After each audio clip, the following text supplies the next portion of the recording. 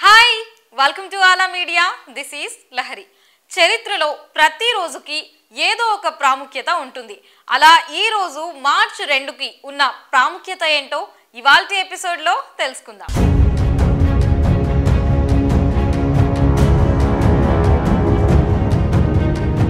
భారత నైటింగేల్గా పేరు తెచ్చుకున్న స్వాతంత్ర్య సమరయోధురాలు సరోజిని నాయుడు. పంతొమ్మిది వందల నలభై తొమ్మిదిలో సరిగ్గా ఇదే రోజున తుది శ్వాస విడిచారు. భారత స్వతంత్ర సంగ్రామం చరిత్రలో తనకంటూ ఒక ప్రత్యేక పేజీని లిఖించుకున్న సరోజిని నాయుడు గాంధీజీ చేత భారత కోకిలగా పిలిపించుకున్నారు. సరోజిని నాయుడు గాంధీజీ దక్షిణాఫ్రికాలో ఉన్నప్పుడు ఆయనతో కలిసి పనిచేశారు. పంతొమ్మిది వందల ఇరవై ఐదులో కాంగ్రెస్కు తొలి భారతీయ మహిళా అధ్యక్షురాలిగా నియమితులయ్యారు.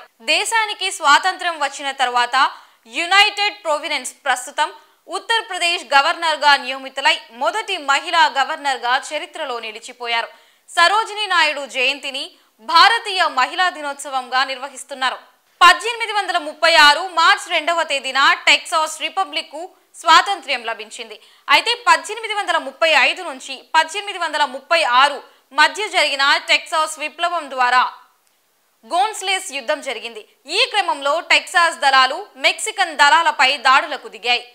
ఈ తీవ్ర పోరులో మెక్సికన్ దళాలు ఓడిపోవడంతో టెక్సాస్కు స్వాతంత్ర్యం లభించింది. ఐసీసీ అండర్ నైన్టీన్ ప్రపంచ కప్కు భారత్ ఇంతవరకు ఆతిథ్యం ఇవ్వలేదు. కానీ ఈ టోర్నీలో మాత్రం టీమిండియా తన ఆధిపత్యాన్ని కొనసాగిస్తుంది. రెండు వేల ఎనిమిది మార్చ్ రెండవ తేదీన కౌలాలంపూర్లో జరిగిన అండర్ నైన్టీన్ ప్రపంచ కప్ క్రికెట్లో భారత్ విజేతగా నిలిచింది. అండర్ నైన్టీన్ ప్రపంచ కప్ పంతొమ్మిది వందల ఎనభై ఎనిమిదిలో ఆస్ట్రేలియాలో ప్రారంభమైంది. ఈ టోర్నమెంట్ ప్రతి రెండు సంవత్సరాలకు జరుగుతుంది. ఐసీసీ అండర్ నైన్టీన్ ప్రపంచ కప్లో భారత్ జట్టు ఇప్పటి వరకు అత్యధిక సార్లు టైటిల్ కైవసం చేసుకుంది. ప్రముఖ నటుడు రచయిత దర్శకుడు రూపశిల్పి బహుముఖ ప్రజ్ఞాశాలి డాక్టర్ అబ్బూరి గోపాలకృష్ణ పంతొమ్మిది వందల ముప్పై ఆరు మార్చి రెండున జన్మించారు. స్వయంగా మహాకవి శ్రీశ్రీతో కితాబులు అందుకున్న ప్రతిభావంతుడు Abburi Gopalakrishna. Andhra university theatre of arts విభాధిపతిగా చేసి రిటైర్డ్ అయిన గోపాలకృష్ణ విశాఖ మ్యూజియం ఆకాశవాణి కేంద్రం స్థాపనలో కీలక పాత్ర పోషించారు. ముప్పై ఆరు మంది రీసెర్చ్ స్కాలర్స్కు మార్గదర్శనం చేశారు. లయ ఇంటర్వ్యూ స్వాతంత్ర్యం వంటి తొమ్మిది నాటకాలు రచించారు అబ్బూరి గోపాలకృష్ణ.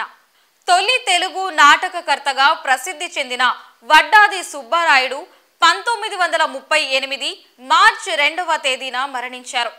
పద్దెనిమిది వందల యాభై నాలుగు జూలై ముప్పైన తూర్పు గోదావరి జిల్లా పాసుర్లపూడిలో జన్మించిన సుబ్బారాయుడు పద్నాలుగవ ఏటనే భజగోవింద శ్లోకాలను తెలుగులోకి అనువదించారు.